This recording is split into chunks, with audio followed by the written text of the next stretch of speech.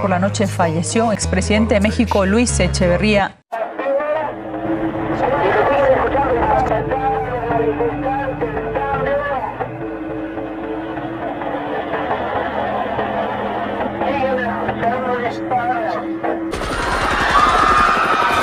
Todavía el 13 de septiembre hubo una manifestación que fue también muy emotiva, la llamada manifestación del silencio.